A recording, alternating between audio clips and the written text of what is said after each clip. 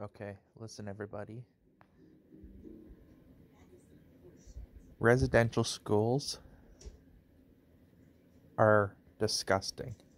In BC, there was a school and they found 215 children bodies under the ground at the school.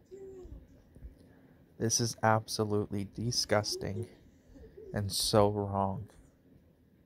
I don't care if you're indigenous or not, but those 215 kids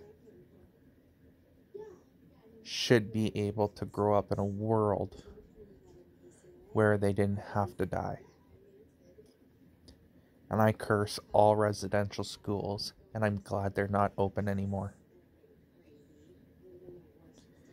Please, please make this viral because it needs to be out that schools like this should never be open ever again, and everybody